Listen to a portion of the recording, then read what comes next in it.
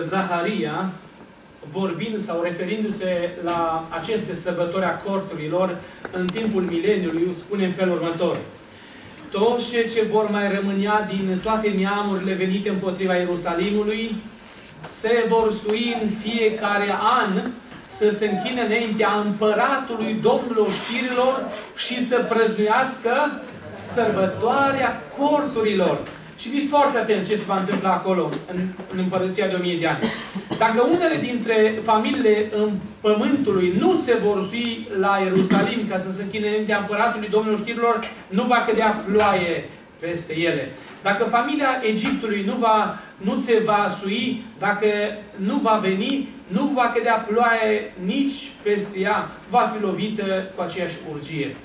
Dragii mei, trebuie de pe aici așadar să învățăm să trăim ca și în rai, la oaltă, în cortul lui Domnului. Uh, am un preiubit uh, al inimii mele, se cheamă Ioan Gheorghe Rotaru, m-am întâlnit cu dumnealui, a scris o carte despre istoria sabatarenienilor din Transilvania și acolo fratele vorbește despre anul 1600, amintește cum acești sabatarinieni pe care noi toți care suntem aici îi avem ca strămoși ai noștri, spune că în zona Mureșului, în zona Alba Iulia, s-au strâns acolo și la aceste sărbători, dragi mei, și-au împodobit grădinile și casele lor unde locuiau și sărbătoreau sărbătorile Domnului și inclusiv această sărbătoare. De aceea aș vrea să înțelegem, așa cum a zis fratele, semnificația acestor sărbători și să nu punem uh, Uh, sărbătoarea mai presus ca sărbătoritul nostru care este Isus Hristos.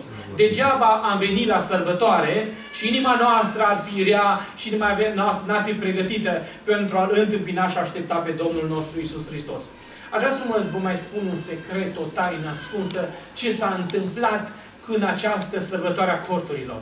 Știm cu toții și toți uh, creștinii sărbătoresc nașterea Domnului Isus Hristos la 25 decembrie. Dar oare, dragii mei, și noi, de multe ori, unii dintre noi, ne asociem aceste sărbători ca fiind sărbătoare biblică. Este biblică, dar nu este la data poruncită. Cunoaștem cu toții că Domnul Isus la Paște uh, a fost răstignit având vârsta de 33 și jumătate de ani. 33 de ani și jumătate. Așa este, se știe cu toții. Acum este foarte simplu, într-un calcul foarte simplu, să calculăm când ar fi avut 34 de ani. Sau, și aceasta putem observa, dacă am dat 6 luni înainte.